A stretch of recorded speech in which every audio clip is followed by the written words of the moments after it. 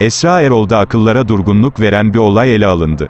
18 yıllık eşi Mesude Yaşar'ın TikTok'tan tanıştığı Nihat Yücel'e ikinci kez kaçtığını söyleyen Mehmet Bey, Esra Erol'dan yardım istedi. Mesude Hanım ile Mehmet Bey canlı yayında yüzleşti ve Esra Erol aynı konuyu geçtiğimiz günde ele aldı. Mesude Hanım, Mehmet Bey'in fabrikada kadınların soyunma odalarını dikizlediğini söyledi. Eşinin kadınlara sarkıntılık yaptığını iddia eden Mesude Hanım'ın açıklamaları kan dondurdu. Mehmet Bey iddiaları kabul etmezken Esra Erol da konuyu araştıracağını vurguladı.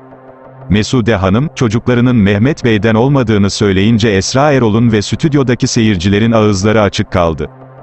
Mehmet Bey ise eşinin sözleri üzerine, hastalığım olduğu için çocuğumun olmayacağını söylediler, karım hamile kalınca çok mutlu oldum, büyük kızım doğdu dünyalar benim oldu, maddi durumum yoktu ama yetmeye çalıştım, sonra karım bir daha hamile kaldı, çok mutluydum, ikisinin de babasının ben olduğumu söyledi, bu gerçeği ise çok kısa bir süre önce öğrendim, yine de onlar benim çocuklarım ifadelerini kullandı.